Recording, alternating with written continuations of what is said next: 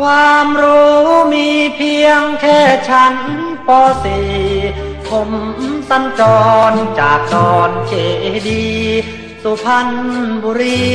ดินแดนบ้านป่า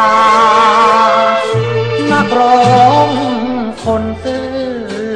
ที่ชื่อสายันสัญญา เป็นเด็กบ้านนอกขอกนาเสียงโชคชะตา มากับเสียงเพลง ฟังเสียงเพลงร้องจากน้องคนใหม่แม้นยามคุณวาวุ่นสวงใน ผมกล่อมใจคุณด้วยเสียงเพลง ยามนั้น เศร้า ผมเป่าขับร้องบรรเลงขับกล่อมให้หายวังเวง ฟังเสียงเพลง แล้วอย่าอาวรก่อนหลับตาฝัน ฟังเสียงสายันสักหน่อยเปิดเครื่องรักค่อยๆผม จะคอยกล่อมให้คุณนอน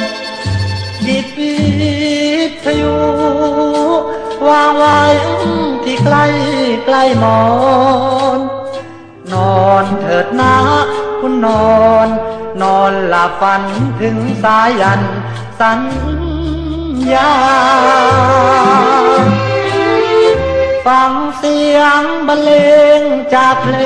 งลูกทุ่ง ขอวอนแฟนบ้าน ป่าในกรุง โปรดช่วยพยุง ให้ความเมตตา เพราะความจนยากผมจึงต้องจากบ้านมา ไม่มีเงินค่าเช่านาสายันสัญญาจึงมาร้องเพลง